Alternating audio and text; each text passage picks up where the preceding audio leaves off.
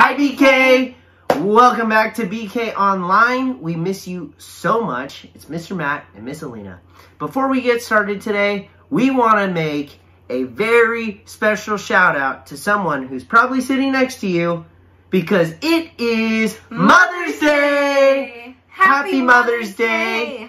Moms, you are loved, you are so special, and truth be told, none of us would be here if it weren't for you. And in BK, we have some of the best moms. We right? do. That is facts. So, moms, thank you so much.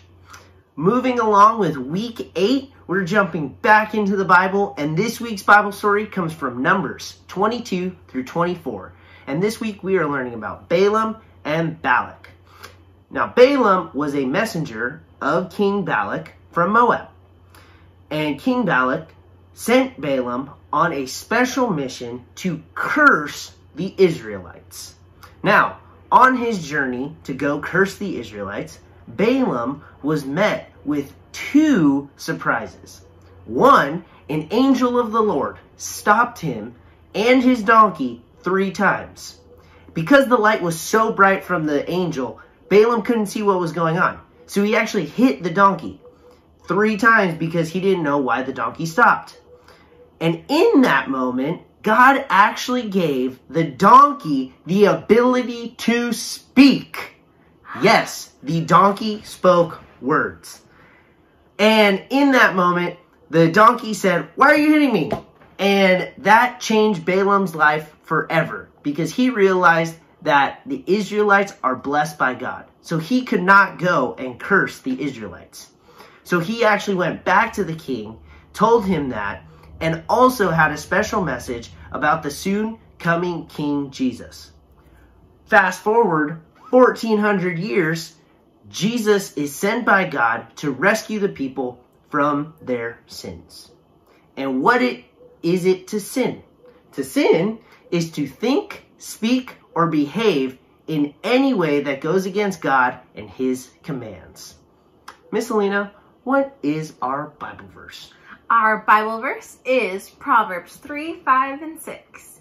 And it reads as Trust, Trust. in the Lord with all your heart and lean not on your own understanding, but in all your ways acknowledge him, and he will make your paths straight.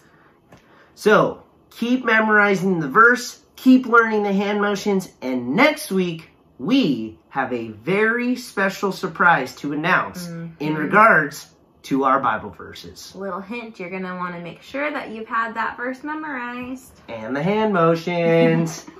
also, what is our activity for this week? This week we have some fun coloring sheets and activity pages that go along with our story. And in addition to that, we also have some fun activities for your mothers. We've got a fun coloring page and an activity page for moms and also one for grandmas too. Can't forget about the grandmas of BK. Can't forget about the grandmas. No. So have some fun doing those. You can get some paint, glitter, sequin, stickers, What? yarn, Beads, flowers, paint, glitter. I think you already said those. glue. make it fun, make it special, make it creative, and make it for your mom. Yeah. Because I know you love her. Uh-huh. And she loves you. Yeah, you can even go beyond that and maybe clean your room without having your mom ask you. Make her breakfast. Uh-huh. Pick her some flowers. Love on her. Mhm. Give her a big hug. Give her a big kiss. Rub her back.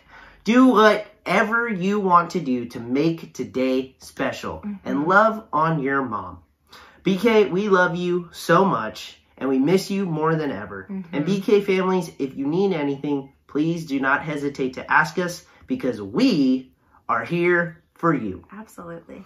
We love you. We're praying for you. And we will see you next week on BK Online. Bye. Bye.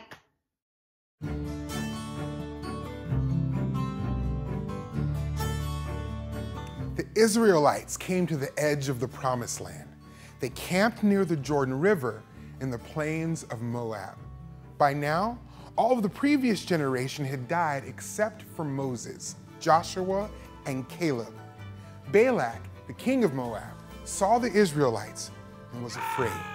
If the Israelites moved into Moab, they could take over. King Balak sent his messengers to a man named Balaam. The king said, Come and curse the Israelites, so that I might be able to defeat them. The king believed that whomever Balaam cursed became cursed, and whomever he blessed became blessed. When Balaam went with the king's officials, God sent an angel to stop Balaam. Balaam could not see the angel, but his donkey could. Three times the angel stood in the way, and three times the donkey stopped.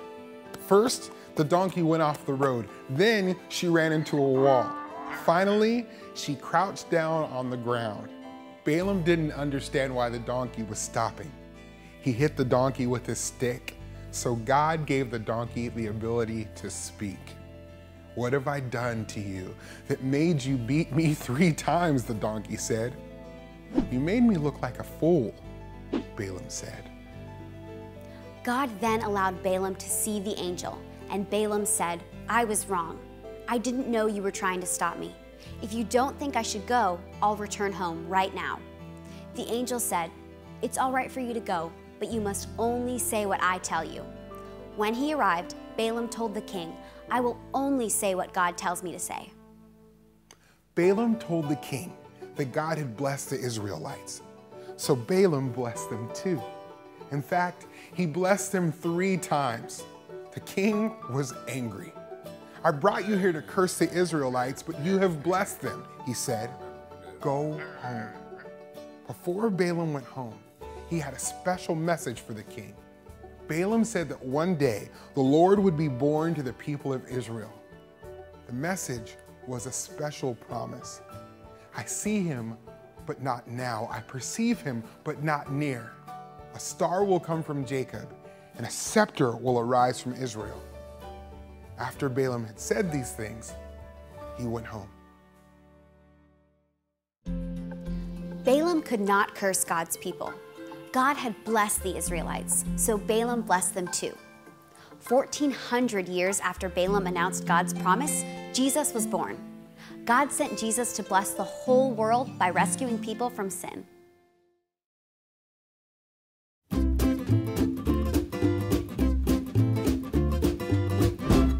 Hey there, I'm Pastor Brian, and it's time for questions from kids. William from New York, New York asks I heard some of my friends talking about angels the other day. Do angels really exist? Thanks for asking that question, William. It's a great question. And today in the story, we see an angel. The Bible talks quite a bit about angels as well. And so we know that they are real and they exist. Now, we have never seen an angel, most likely. They are created beings that are in the spiritual world that we often don't see, but that doesn't mean they're not real. All throughout Scripture, we see time and time again where God sends angels to serve a purpose. They are His servants, they usually come and deliver a message on His behalf. And sometimes we see that God sends angels to serve His people, that they come with a very specific role to take care of His people or serve them in some way. And so while we do not see angels normally, we know they exist. They are separate beings that God created to serve Him and serve His people. So, what are some ways that you can serve God this week?